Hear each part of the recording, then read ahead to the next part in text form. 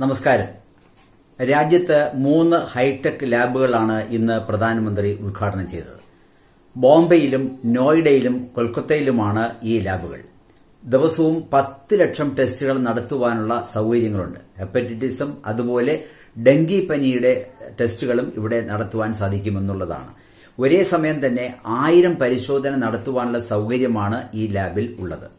ഇന്ന് ഇന്ത്യ അഞ്ച് ലക്ഷം P P കിറ്റുകൾ നിർമ്മിക്കുന്നുണ്ടെന്നും ഇത് കയറ്റുമതിക്കായി ഒരുങ്ങി നിൽക്കുകയാണെന്നും അദ്ദേഹം ഈ ഉദ്ഘാടന പ്രസംഗത്തിൽ പറയുകയുണ്ടായി.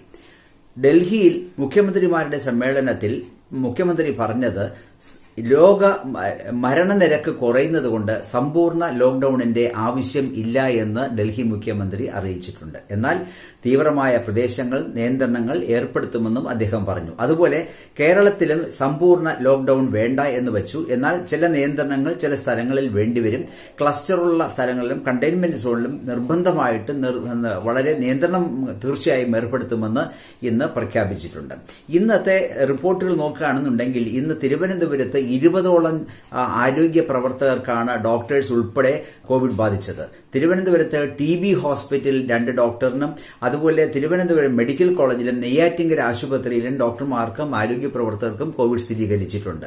ഇതുകൂടാതെ തിരുവനന്തപുരത്ത് അഗ്നിശമന കേന്ദ്രത്തിൽ ഒരാൾക്ക് കോവിഡ് ബാധിച്ചതുകൊണ്ട് അൻപത്തിയേഴ് പേർ നിരീക്ഷണത്തിൽ പോകേണ്ടി വന്നു എന്നുള്ളതാണ്.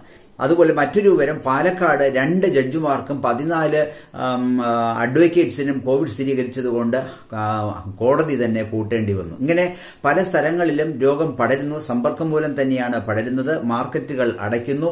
റോഡുകൾ അടയ്ക്കുന്നു. ധാരാളം കണ്ടെയ്ൻമെന്റ് സോണുകൾ കൂടുന്നു എന്നുള്ള വിവരം തന്നെയാണ് ഇന്നും റിപ്പോർട്ട് ചെയ്യുവാനുള്ളത്.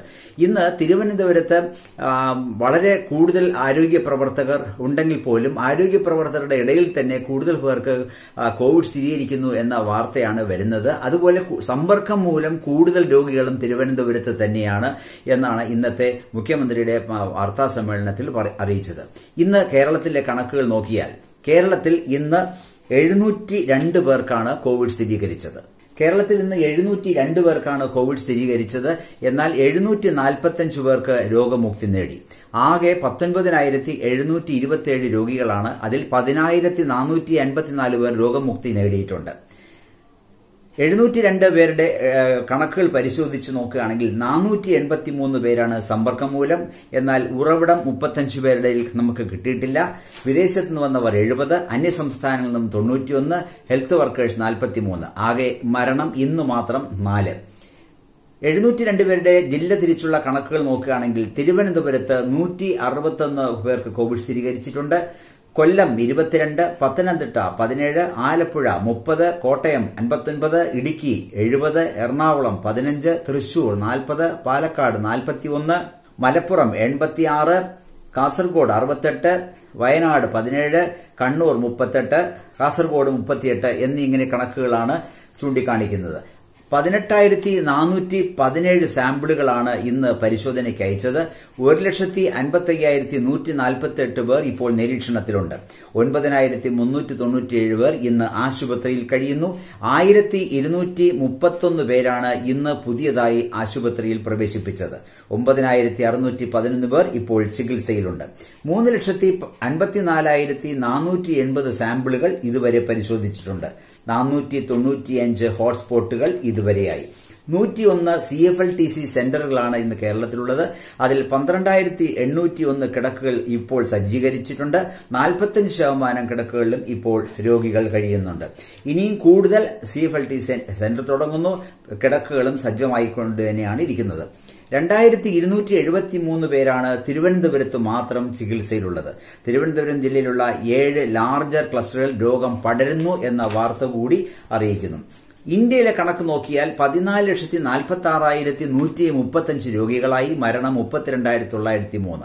കഴിഞ്ഞ ഇരുപത്തിനാല് മണിക്കൂറിനിടയിൽ അൻപതിനായിരം പേർക്കാണ് കോവിഡ് സ്ഥിരീകരിച്ചത്. മരണം എഴുന്നൂറ്റി എഴുപത്തിയാറ് ഇന്ന് മഹാരാഷ്ട്രയിൽ ഒൻപതിനായിരത്തി നാനൂറ്റി മുപ്പത്തൊന്ന് പേർക്ക് കോവിഡ് സ്ഥിരീകരിച്ചു. ഇരുന്നൂറ്റി അൻപത്തൊൻപത് പേരാണ് ഇന്ന് മരിച്ചത്. അതുപോലെ യു പിയിൽ മൂവായിരത്തി അഞ്ഞൂറ്റി എഴുപത്തെട്ട് പേർക്ക് കോവിഡ് സ്ഥിരീകരിച്ചു. മുപ്പത്തൊന്ന് പേർ മരണമടഞ്ഞു. ഡൽഹിയിൽ ഇരുപത്തി പേർ മരിച്ചു. അറുന്നൂറ്റി പതിമൂന്ന് പേർക്ക് കോവിഡ് സ്ഥിരീകരിച്ചിട്ടുണ്ട്. ബീഹാറിൽ രണ്ടായിരത്തി ഒരുന്നൂറ്റി തൊണ്ണൂറ്റി രണ്ടും തെലങ്കാനയിൽ ആയിരത്തി നാനൂറ്റി എഴുപത്തി മൂന്നും ബീഹാറിൽ രണ്ടായിരത്തി ഒരുന്നൂറ്റി തൊണ്ണൂറ്റി പേർക്ക് കോവിഡ് സ്ഥിരീകരിച്ചു.